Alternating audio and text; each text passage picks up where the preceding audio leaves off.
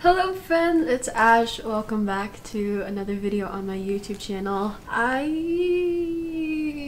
didn't have any videos planned, which is very abnormal for me. I usually like pre-film a bunch of videos and then by the time they're all scheduled to upload, I have videos planned again. I had a whole system going for the past like what, three years that I've been doing YouTube and recently I just have been falling behind. I've tried vlogging like five times this week and just nothing came of it. So let's hope that this video works out because it's been a very long time since I've been able to just like sit down, have like a little chill chit chat type of video. I'm actually going to be doing a Q&A today, so thought it'd be fun to like sit down and update you guys on how my life is going because there's a lot to say. If you're new here, be sure to hit subscribe somewhere down below. Give this video a like, follow me on all my social medias, and check out my music. They're all linked in the description down below.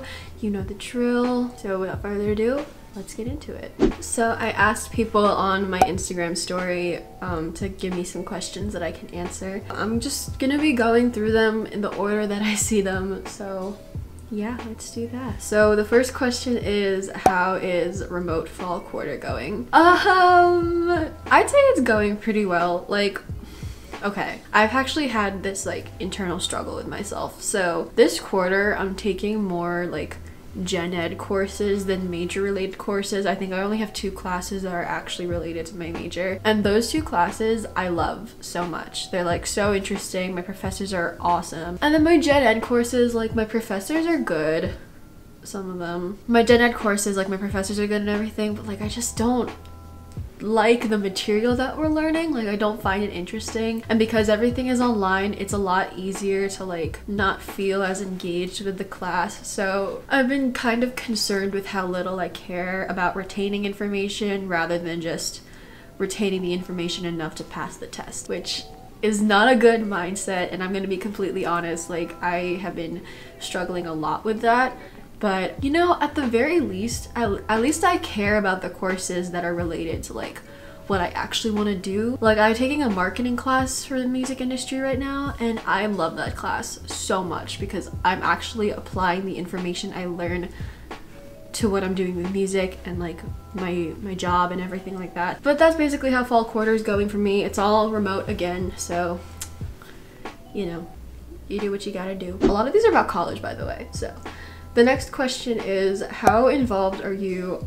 now that things are online? I consider myself pretty involved. Like I'm really involved in my sorority and I actually over the summer got involved with the university concert board here which is what I've been planning to do for a while it just never happened but over the summer I joined the board that like makes all of the big productions like shows and stuff obviously everything's online right now and we're hosting like live stream concerts but I spent like four months planning with a whole team of people all of these live stream events with big name artists or not not big name but like people know them. I don't know I think recently with like classes starting it's a lot harder to get involved and to attend all of the meetings because also keep in mind I don't just do college.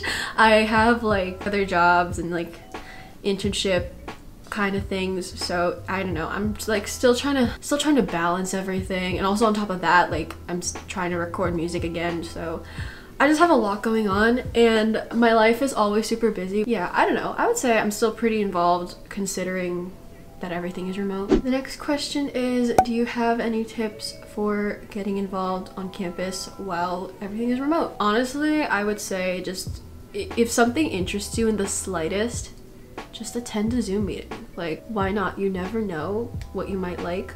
And if you just like go to every meeting that interests you, you can narrow it down from there. You can see like what you really enjoy doing, what you can do without. I feel like that was really bad advice and that didn't make any sense at all, but uh, hope it did somehow. The next question I got was how was online recruitment? If I'm being honest, like I don't really have much to compare it to uh, in terms of like doing it from the sorority side because like yeah I went through in person last year but that was me trying to like get into a chapter but now that I'm already in one I don't really have like a point of comparison between in person and virtual because my first time was virtual but I will say I'm very glad that I didn't have to do that in heels because I was already pretty tired and I was just sitting like right here. My laptop was propped up on my pillows and I was still pretty, pretty worn out. I don't know, overall, I, I actually did really enjoy going through it and we got some amazing new members. They're all super cool and yeah, I don't know, I'm excited to get to know them. The next question I got is what are my job slash internships that I talk about? I've mentioned them a couple of times, I believe. I do three things that I consider like a job slash internship that's outside of school. So the first job that I have is with a record label called Elton Audio Records, and I have been working with them since I was a junior in high school. So at this point, it's almost been three years. And basically, I started out as a news intern with them, and I'm still a news intern. Like, I write articles for their news page and they upload it to Apple News as well, which is super dope that my articles are up there. Um, and you can feel free to check them out if you want. I write articles about a lot of things pertaining to the music industry and he's been recently transitioning me into being like a marketing intern as well because marketing is what I really want to do with my future career. And actually yesterday I had a meeting with my boss and one of the artists that he signed because he's releasing some new project and I helped like listen to the records, figure out the order that they would go in on the project and I was like this is dope. But yeah, I really, really love that job and I'm hoping to continue with that for as long as possible. My next internship, it's not paid.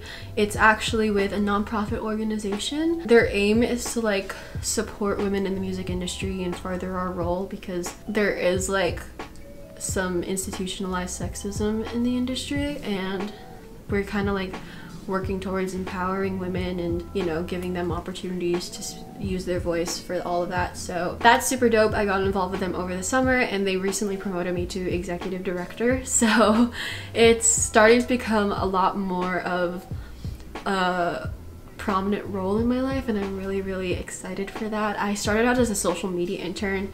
So I was designing all the Instagram posts, playing around with branding, uploading things, all of that. But now we're doing like Zoom events and everything, and I'm basically in charge of planning all of those. So yeah, that's what I'm doing with that. And then the last job I have is with University Tees. I'm a campus manager, and basically what I do is I speak to like different representatives of organizations like you know greek life uh, student clubs even like local businesses and high schools we can do that and basically just make like custom merchandise for them. Like this past recruitment season, I actually helped make some sweatshirts for a sorority on campus, so yeah, things like that. I feel like I never really explained that. I kind of just briefly mentioned it, so it's good to like get it all out in the open now.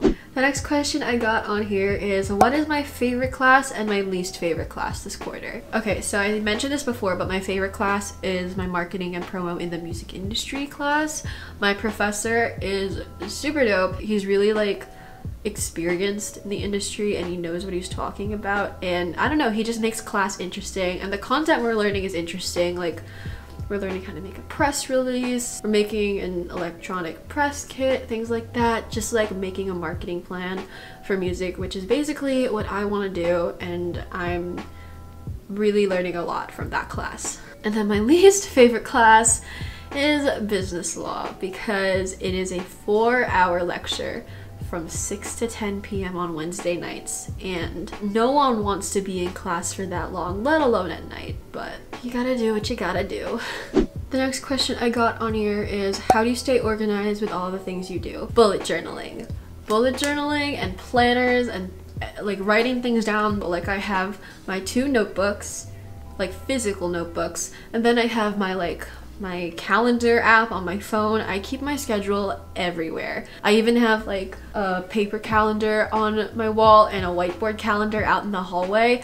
So I just like, I keep track of things all the time. I'm a very type A person like that. With everything I'm involved in, it's super helpful to like write things down for me. And also bullet journaling is super therapeutic as well. And then the last question I got is was there anything that you didn't expect when you moved back to campus? This is a kind of loaded question because like yes, there's a lot that I didn't expect. And I was actually talking with my friend Emma about this. I hope she's okay with me exposing her like this, but we were both thinking how like we kind of hyped up moving back to school in our heads to the point where what actually happened fell short of those expectations. And that's totally on us because I really didn't expect when I moved back here how different things would be from freshman year. And it's not like I came back with the expectation that it would be exactly the same because obviously we're still in a pandemic.